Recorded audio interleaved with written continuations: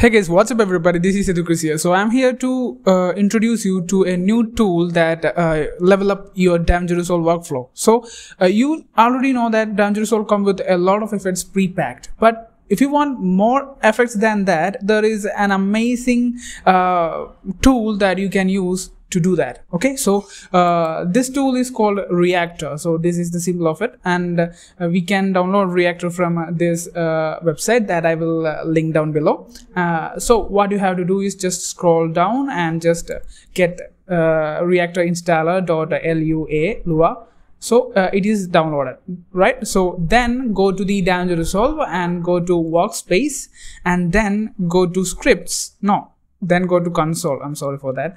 Just go to console. So just uh, do that and go to your download section. So this is the reactor plugin. So just i'm going to drag this and copy this into the console of the uh, DaVinci Resolve so uh, this will ask for uh, you know install and launch.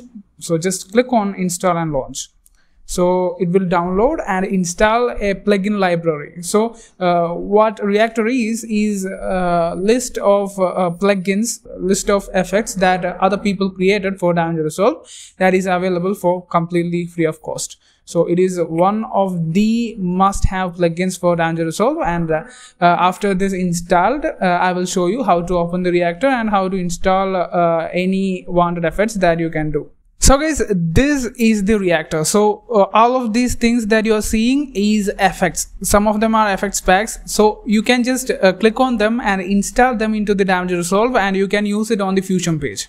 So it is it will open a door to endless possibilities and creativity guys. So just uh, go with it and i will also bring a lot of tutorials that are based on reactor so reactor is a must have tool for DaVinci Resolve and uh, also there is one thing that uh, i want to show you like if you just close this out and close this out you know how would you open back the reactor right? So go for the workspace and go to scripts and go to uh, comp then we can get reactor right? And then we can get open reactor. So that's how you open the reactor right?